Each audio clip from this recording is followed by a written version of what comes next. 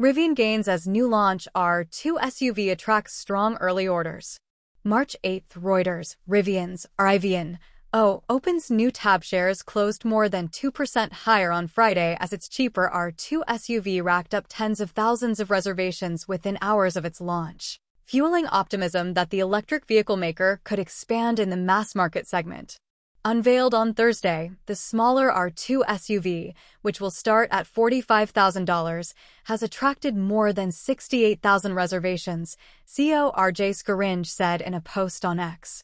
Analysts also said that the Amazon-backed AMZ and O oh, opens new Tab EV makers plan to produce the R2 at its existing U.S. factory and pause the construction of its second factory in Georgia may result in cost savings that will delay further fundraise.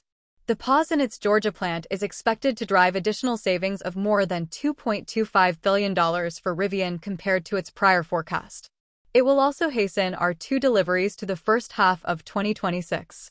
Cost savings will leave the company with enough cash on hand through R2's start of production, relieving considerable pressure to raise capital in the near term, Deutsche Bank analyst Emmanuel Rosner said.